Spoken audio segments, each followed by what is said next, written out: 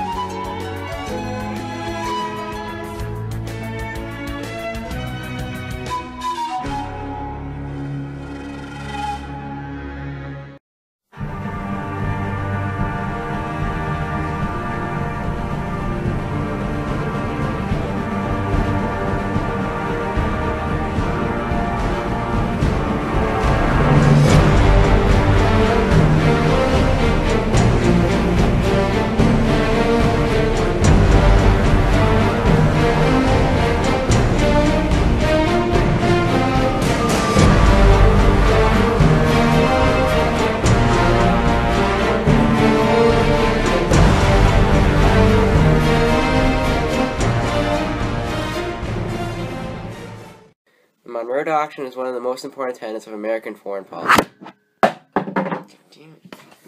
The doctrine is written by John Quincy Adams and read by uh, President James Monroe in the seventh annual State of the Union address.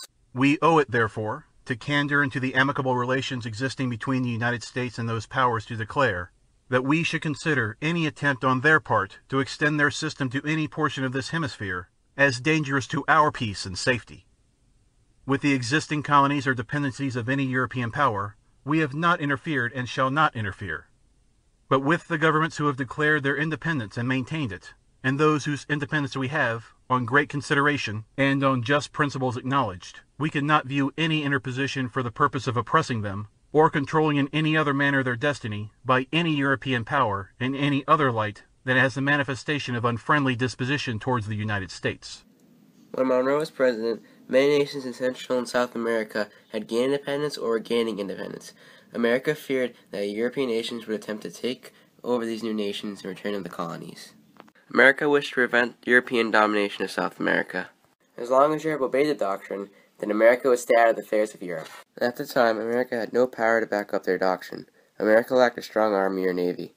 However, the British also had interest in protecting the independence of these new nations. If these nations were to become colonies again, they would only trade with their parent country. Britain wanted a lot of markets for their products, so more nations meant more markets. Britain had the largest navy in the world and used it to back up the Monroe Doctrine.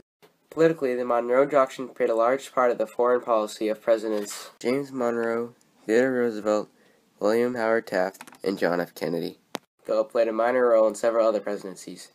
The biggest addition to the doctrine was the Roosevelt Corollary. I am anti-brutality.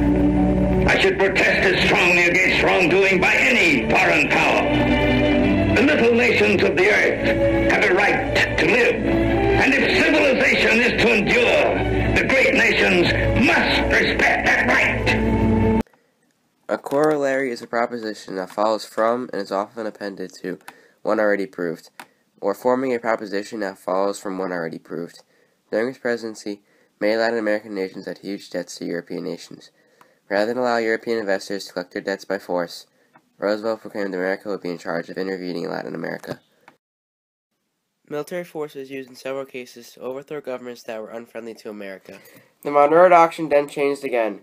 and it went from preventing European influence to preventing Soviet and communist influence. In 1954, John Doe invoked the Monroe Doctrine to denounce Soviet influence in Guatemala and justify CIA action there. John F. Kennedy also invoked the doctrine in the Cuban Missile Crisis. President, sir, would you tell us what the Monroe Doctrine means to you today in the light of world conditions and in Cuba? The Monroe Doctrine means uh, what it has meant uh, since the uh, President Monroe and uh, John Quincy Adams uh, enunciated, and that is that uh, we would oppose the a foreign power extending its power uh, to the uh, Western Hemisphere. And that's why we oppose what is, being, is happening in uh, Cuba today. That's why we have cut off our trade. That's why we worked uh, in the OAS and uh, in other ways to uh, isolate the communist menace in Cuba. That's why we will continue to give a good deal of our effort and attention to it. Economics plays a big role in the history of the Monroe Doctrine. The original reason Britain supported the Monroe Doctrine was because of economics, because they wanted more markets for their goods. Politicians and businessmen in America also supported the doctrine because they wanted the markets and be able to expand economically across the Americas. The reason there was a resurgence in European interest in Latin America in the early 1900s because of the large debts Latin American nations had required. President William Howard Taft believed that America should use its economy to protect Latin America from European influence. While Teddy Roosevelt's successor, William Howard Taft, continued parts of Roosevelt's big stick diplomacy, he developed his own efforts to try and improve the relationship between the United States and Central America and the world called dollar diplomacy. This policy encouraged American businesses to invest in various countries in an effort to convince those governments to be friendlier to the United States. Taft, who had been elected in 1908, believed that once those countries had received American investment, realized the benefits of those investments, they would want to make sure that American businesses stayed. Taft's problem was that his program was no more well received than Roosevelt's big stick diplomacy. He tried to take control of Honduras by buying up their debt to British bankers. In Nicaragua and Haiti, similar plans also failed. Unfortunately, government and businesses working together can lead to bad results. Often, when the government supported the businesses in Latin America, the corporation would actually take over the country they were in.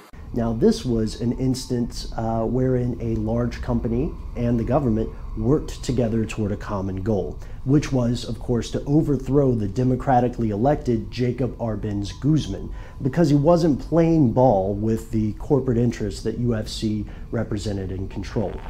Now, at the time, it's safe to say that Guatemala was indeed a banana republic.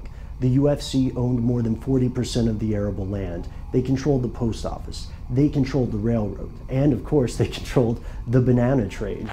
Socially, at first, the Monroe Doctrine meant to the Americans that they were the protectors of liberty, justice in Central and South America from European expansion. However, the definition changed over time. In the later 1800s, the, the Monroe Doctrine meant that the Americans, that they were the protectors of liberty and justice from European expansion, so that America could expand its own influence there. Since America was a regional power, Americans believed they had a duty to protect the little nations of the Americas. America should be a policeman and control the actions of Latin America. So, we quickly come to an inescapable conclusion. The United States is the world's policeman because there is no alternative, and everybody knows it. But what if Americans don't want the job anymore? What if the cop walked off the beat? The answer is clear and well grounded both in history and current events. When America retreats, the bad guys advance. Unfortunately, this led to an enterprise known as filibustering, where ambitious Americans tried to expand their own influence in the name of America by force. Mercenaries such as William Walker and William H. Chandler attempted to nearly succeed in taking control over Latin America. The American public often enjoyed reading about the adventures of filibusters. Monroe went and put together a statement that told the Europeans to stay out of the Americas. The rest of the world started to disagree, but were afraid of the British Navy. And therefore, no one went and tried to challenge the doctrine. Have to cut you off. Future colonization of